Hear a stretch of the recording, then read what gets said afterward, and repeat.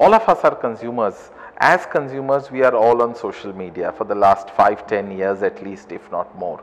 So we all understand social media and we are all kind of experts on social media. Any marketing program or for that matter the social media marketing SMO will have three objectives. So first one is sheer pure play brand communication. So that's one role which is the communication part.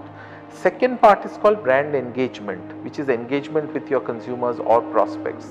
And the third one is essentially capturing leads, lead generation or in some way ultimate sales funnel. So these are primarily the three objective of any marketing program. The marketing team usually keeps on doing social media and a lot of other activities, but are they harnessing the power of the employee potential? Sometimes organizations themselves have 2000, 3000, 10,000, 20,000 people.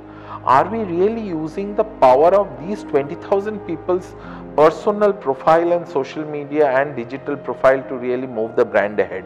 So this is something what is called uh, employee advocacy and I strongly believe whether for a large company or a small company, if you really need to harness the power of social media to consumers, you must also harness the power of social media to employees. It is very important and interesting if you can capture the moments of truth of your brand through social media, which otherwise people will not be able to see. So it's called moments of truth.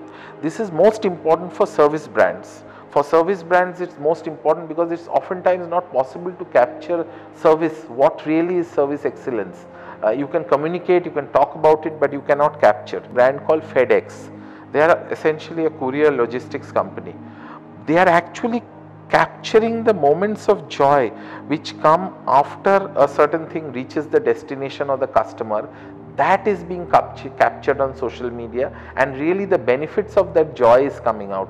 So it is nothing to do with the core product but it is much beyond that. The last point which I wanted to say is that um, in large companies or large brands, social media cannot happen in isolation from the client. As a client, you need to take care that there is a good what is called ORM system. It's like a, you know, ORM is something like a parachute which is always there. So if you're flying in the sky, you must have a parachute. Don't fly without a parachute. Anyone who has any questions, please do write into my email. I'll be happy to answer. Thank you. Happy viewing.